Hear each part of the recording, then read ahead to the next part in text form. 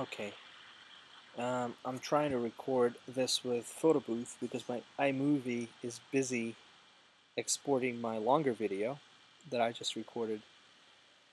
Um, so this is going to be a little weird. This might get a little weird because I've noticed that in the past when I tried to record videos with Photo Booth, um, audio was wildly out of sync with video. So if that's the case this time, I'll re-record the video. But um, I wanted to briefly talk about um, unions. Uh, the thing about unions that I wanted to emphasize is that what unions do, or rather, you know, the group that the unions are in conflict with, in in uh, existential conflict with, are not the employers.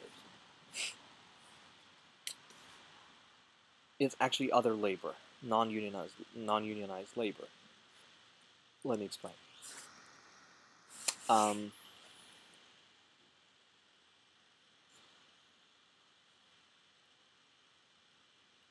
what unions want to do is raise wages, which is a price for their labor services. How do you raise the price in the market? How do you induce the buyer to pay you a higher price? Or the buyers to pay you a higher price? Well, the way to do it is to restrict supply. If there's a lot of sellers in the market offering a product, uh, the more sellers uh, there are relative to the number of buyers, the low, lower the price is going to tend to be. All other things being equal. It's, a, it's the normal functioning of the law of demand.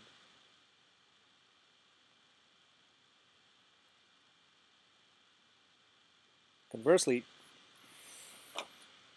if you get uh, a lower number of sellers, fewer sellers, relative to the number of buyers, then those buyers are going to start uh, chasing the good that is being sold and bidding the price up, depending on how much they want that good. So what the unions are doing is that they restrict the supply of labor services available to the employer the unions are not this benign uh, way of organizing or, or, organizing themselves for the workers, where workers get together and decide to bargain collectively. And the union legislation that exists today in the U.S. and in other parts of the world, um, although I'm more knowledgeable uh, about the union legislation in the United States um, than even you know my home country of Russia or any other country for that matter, but it is what it is. Um, what the union legislation does is not provide a framework for people to bargain collectively. In fact, you don't need uh, a special law to allow you to bargain collectively. You can just bargain collectively. You just you know, voluntarily get together and decide, okay, we want to bargain as a group. We want to come to the employer and say, look, uh, buddy, we're working for you here and you're paying us wages. Well, we, we talked amongst ourselves. We decided that, that all of us together are going to demand that you raise our salaries. Okay, it's out now. We're going to demand that you raise our salaries. We want to be paid more for the same amount of work. Okay? And if you don't, we are not going to work.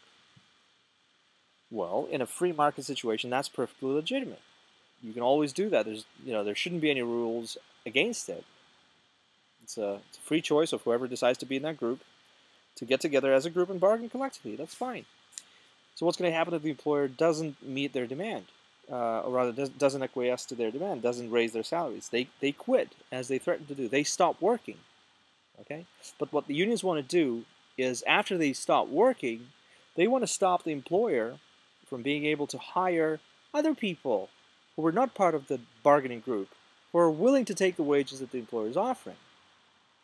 And if you think about it for, for three seconds, that's the whole point. I mean, there's nothing, again, nothing criminal in my view about people deciding that they want to be paid more and refusing to work unless and until they're paid more.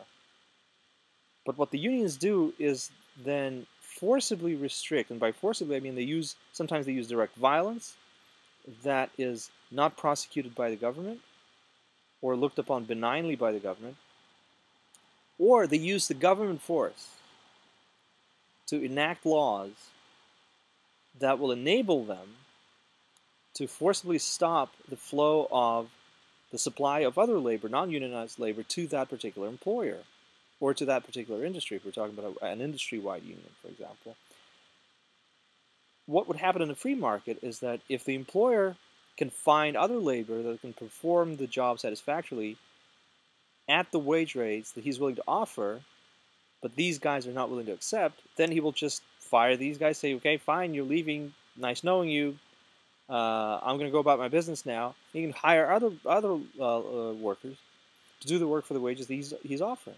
Okay, if he can't find anybody that is willing to work for for less than what these guys are demanding, well, he kind of has to pay them what they're demanding.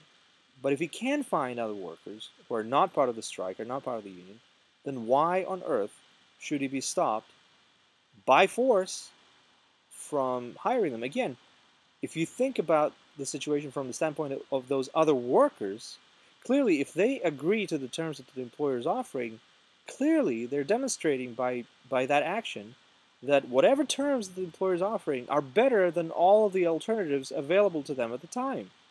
Other, otherwise, they would not take the offer. Okay, the act of them accepting the offer of the wage rates uh, by that employer demonstrates that they prefer working for those wages for this employer to all of the other alternatives that they currently have. Okay? So what the union wants to do is to stop other workers from coming in and working at the wage rates offered. They're really fighting against other workers. Okay? And in cases where there are they are successful in raising the wage rates, that is at the expense of those other workers who would work for the lower wage but are now forcibly stopped from doing that. Okay? That's one effect. So you're you're disemploying those people by you know being a union or, or, or enforcing union legislation. You're disemploying the non-unionized labor. That's exactly what you're doing. The other thing that you're doing, a sort of a, a longer run effect, is that um, you're pushing those people out of that industry. They would be working in this industry. You know, uh, you know one possible consequence is that this employer is going to be using less labor than he otherwise would because labor has suddenly become more expensive. He will look for other factors to substitute, um, and he will look for ways to get more productivity, or at least the same productivity, preferably more productivity, with now you know less labor, because he can't he can't hire those people. Those, so the non-unionized labor is going to be pushed out of that particular industry and will have to go and look for employment in other industries or in other regions or both. And that means that the supply of labor in those other regions and other industries is going to go up. And when the supply goes up, with the demand staying where it was, what happens is the price goes down. And the price in that case, the price of labor services for labor services is wages. So wages in other industries and or other regions go down. So the you know when they're successful, when unions are successful in raising their wage rates, they're doing that at the expense of other workers in that industry and at the expense of other industries and or other regions. That's what's happening with the unions. It's a simple economic fact that I wanted to point out to you guys. Um, again, the conflict is not with the employer per se, or not with the employer so much. It's really with the other laborers. And in fact, if you look at the origins of the labor movement, a lot of it has to do with, you know, entrenched white workers not willing to compete against black workers. In later 19th century America, after especially after the slavery had been abolished, um, a lot of the black uh, workers have entered into the market and were threatening to undercut the entrenched existing position of the white workers they were willing to work for less. Oh, that's a crime. They're willing to work for less. You know, I'm a, I don't know, I'm a stonemason or I'm a steel worker and I get the salary of X. Well, the, these black guys are coming in and they're willing to work for 70% X of, of X. Well, that can't, we can't have that. No. you know, so we're going to disemploy those people. We're going to push them out of this industry or this state or this region and force them to go somewhere else.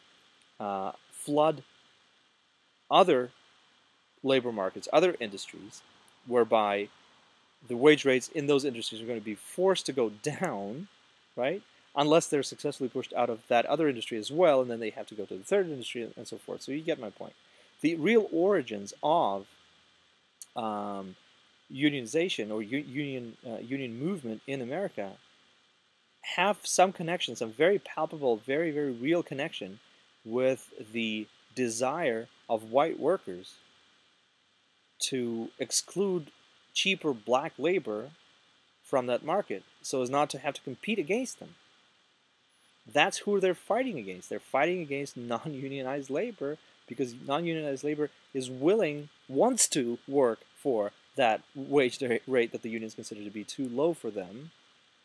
So the unions unions are going to use the force of the government to make sure that those people who are willing to work for less do not get to work at all. Not in their plant, not in their factory. It's not their factory, but not in the factory where they're working, not the industry where they're employed. So yeah, you can you can you can use force to wage your uh, to raise your wage rates at the expense of other people and other industries. That's what union uh, um, union legislation and unionism as such is all about.